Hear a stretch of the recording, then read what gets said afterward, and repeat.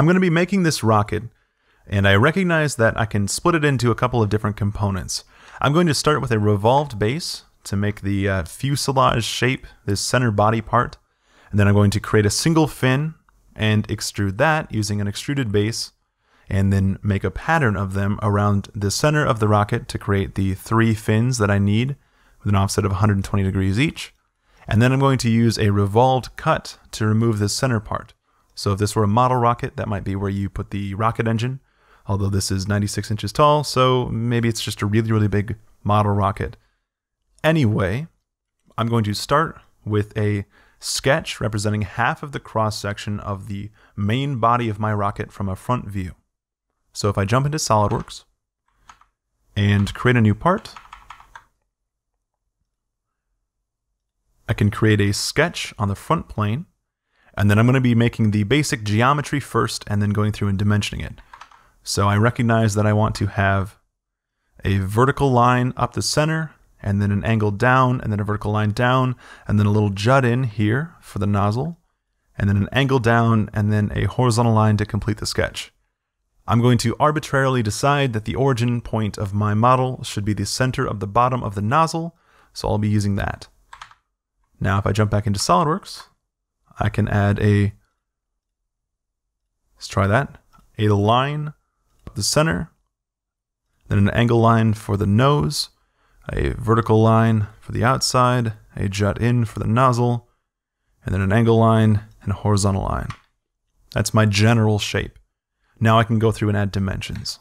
So I know the height of my rocket, or rather the height from the bottom of the nozzle to the tip, which is 96 inches. So I will add that here, that is 96 inches. Then I know that my nose should have an angle of 50 degrees. I'm drawing half of that, so that angle should be 25 degrees. I'll use the Smart Dimension tool, and that will, if I click on this line and this line, that'll figure out that I want to dimension an angle, so I'll click there, and then make this 25 degrees, because that's half of 50. Next, I know that my nozzle should be 6 inches tall, so I can dimension from this vertical line to this vertical line. Tell it that should be 6 inches. Now I will add my uh, diameters of the rocket, which are going to be radiuses here. So if I look at my top view of my sketch, I notice I have a lot of diameters. But the first one, the outside one, is 16 inches, which means that this radius here should be half of 16, which on most days is 8. And if you didn't want to do that math in your head, by the way, if you just type 16 slash 2, it'll do the division for you. Next, I notice that I need a I need diameters of 14 and a half, 14, and 12. And if I look closely at these arrows, I see that the second line is 14 and a half. And if you picture how this would actually look from the top, that second line is going to be this distance here.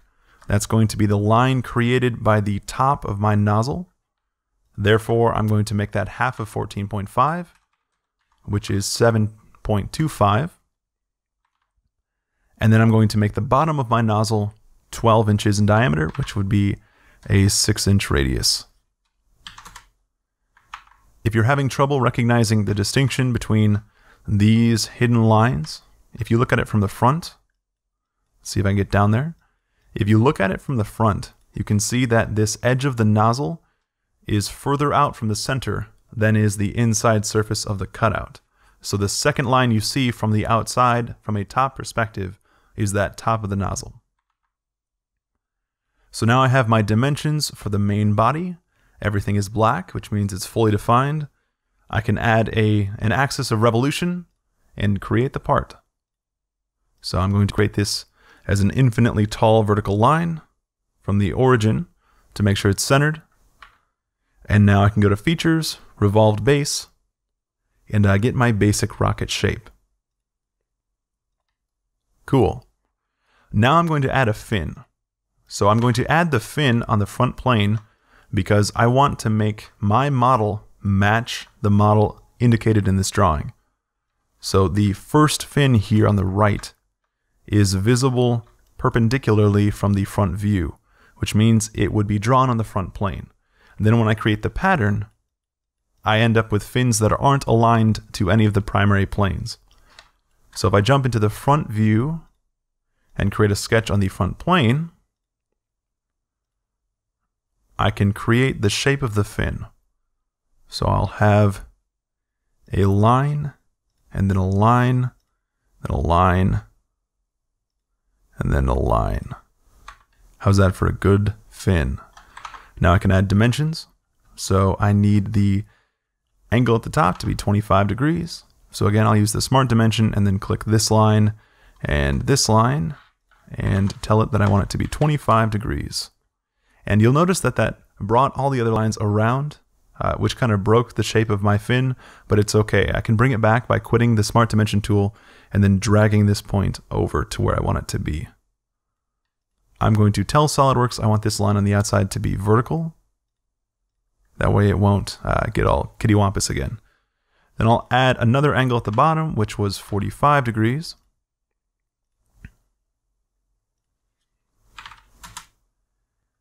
And I'll dimension a width, which I believe is 10 inches. Yes, 10 inches.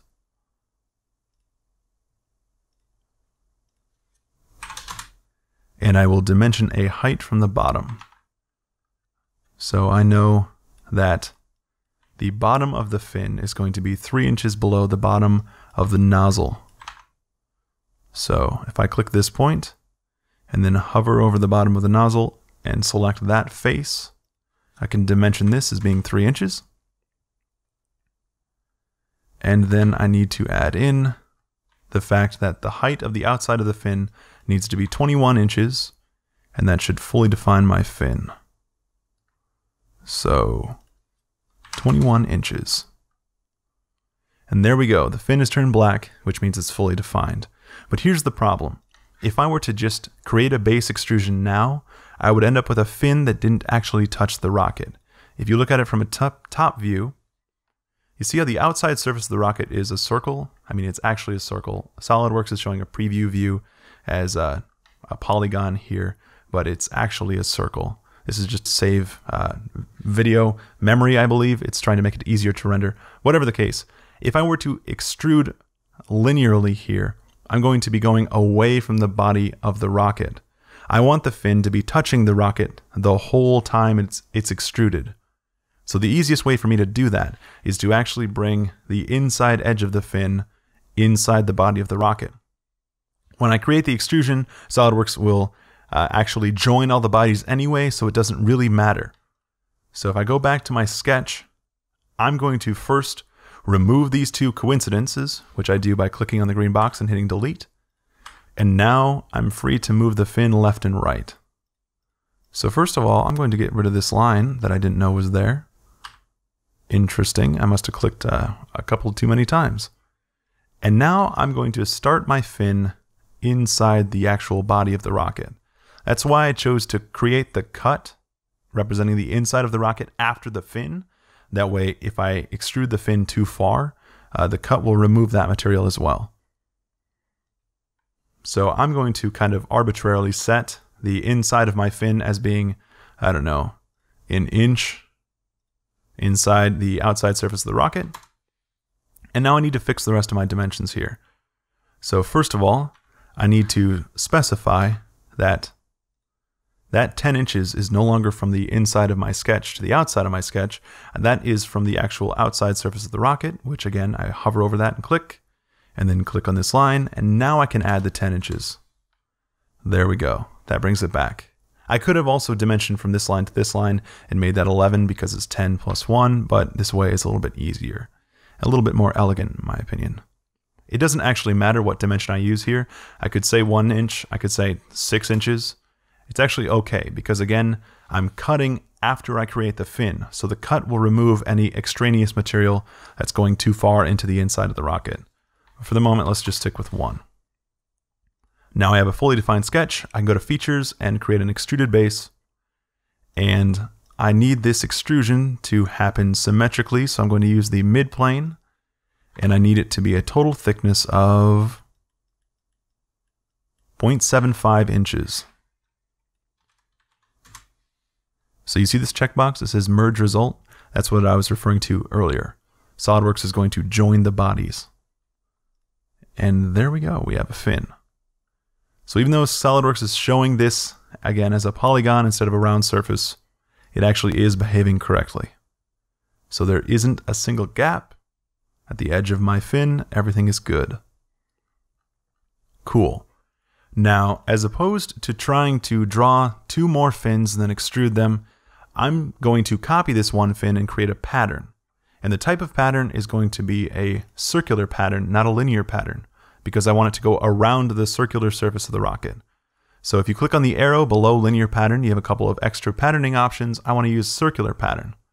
So within circular pattern, I have a couple of boxes. This box that's currently highlighted is where I would select my extrusion that represents the fin. But you'll notice nothing is happening. That's because I also need to specify something in this box. That is the axis around which to revolve to create the circular pattern. So I don't actually have a nice middle line. You know, if this were a sketch and I was creating a revolved extrusion, I would create a construction line there down the center and revolve around that.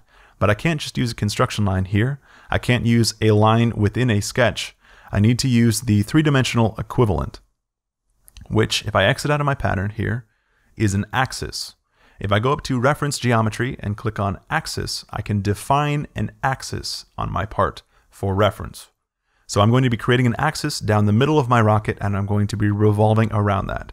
So when I click on axis, I have a couple of options. SOLIDWORKS is basically saying, hey, uh, where do you want that axis? And I have a couple of ways to tell it exactly where. So the first option here is I could select a line that already exists on my part. You know, if I were to select this line on the outside of my fin, I could make that be an axis, but that isn't helpful here. I've got other options like uh, two points, which is where I could select two points on my sketch, or excuse me, on my part, and SOLIDWORKS would create an axis between them. I have point and face, which I don't really have any convenient examples of here. I guess maybe this one. I could select this as the face, and then this is the point. and SOLIDWORKS will create an axis that is perpendicular, or rather normal to that plane, and intersects the point that I selected. That would actually work here, but it's not the one that I would prefer to use. I have cylindrical face, which if I click on a face of a cylinder, will create an axis down the center. That again would work here. But my favorite option for this particular circumstance is the two planes option. SOLIDWORKS will create an axis at the line resultant from the intersection of two planes. So if I were to click the front and top planes, those intersect at a line that extends horizontally here. So because I, my origin is at the bottom center of the nozzle, that horizontal line is extending away from the bottom center of the nozzle. So in this case, if I choose the front plane and the side plane, the right plane, the resultant axis is right down the center of my part because I revolved it around the origin. So that's perfect. That's the one I'd like to use here. Now I have an axis. So if I jump back to a front view for convenience, and I go to circular pattern, I'm going to select that extrusion representing my fin again, and then up here in this box, I'm going to select that axis that I created.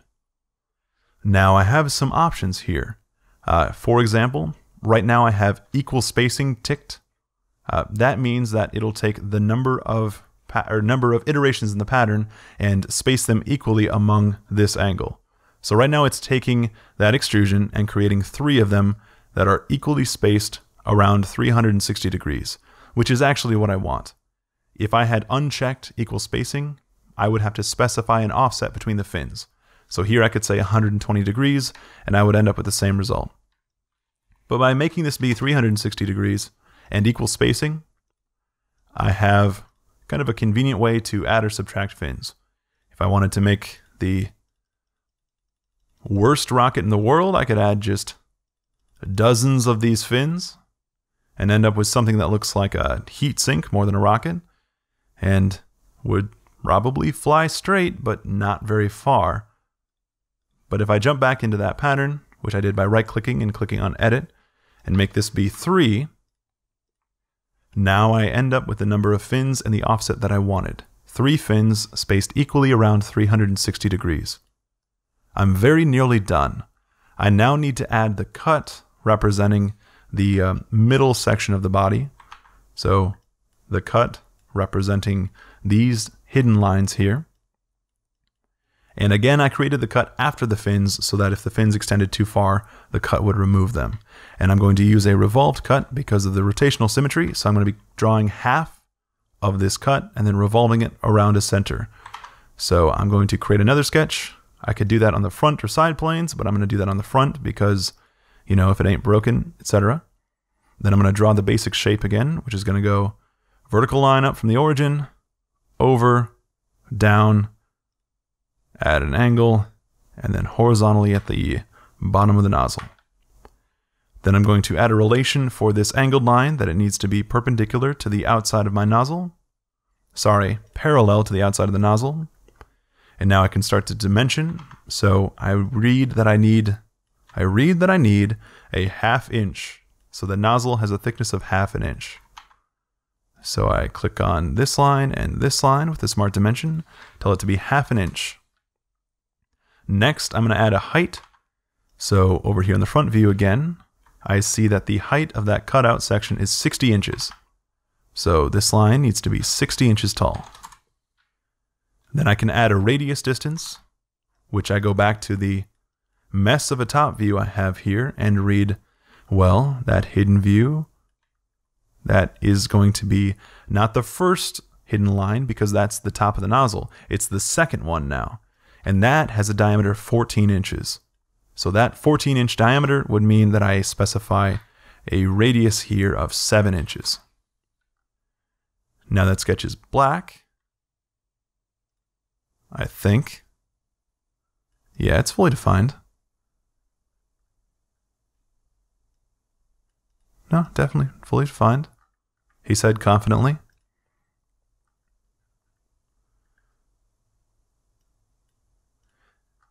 Oh, I see. Okay. I want to make sure that that center line that I drew is coincident to the origin. And not the axis.